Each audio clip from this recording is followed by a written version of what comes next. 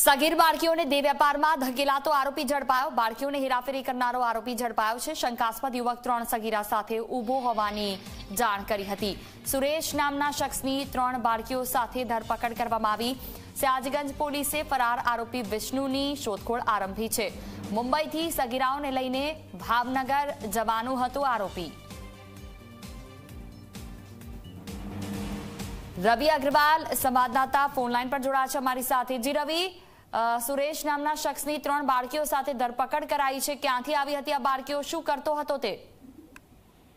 બિલકુલ જૂની વાત કરવામાં આવે તો વડોદરા રેલવે સ્ટેશન પરથી ચાઇલ્ડ હેલ્પલાઇનની ટીમ દ્વારા એક સુરેશ નામના ઈસમને અને ત્રણ બાળકીઓને પકડીને સયાજી પોલીસ સ્ટેશનને સોંપવામાં આવી હતી અને પોલીસ સ્ટેશને સુરેશ સુરેશ નામના જે આરોપી છે તેની પૂછપરછ કરતા ખૂબ જ ચોંકાવનારો ખુલાસો થયો કે જેમાં તે મુંબઈથી જે ત્રણ સગીરાઓ હતો તેને વડોદરા લાવ્યો હતો અને ભાવનગર તે વેચવા માટે લઈ જવાનો હતો. જે વેપારના ધંધામાં તેમને ધકેલવા માટે અખબાર તેમનું એક ષડયંત્ર ચાલી રહ્યું છે.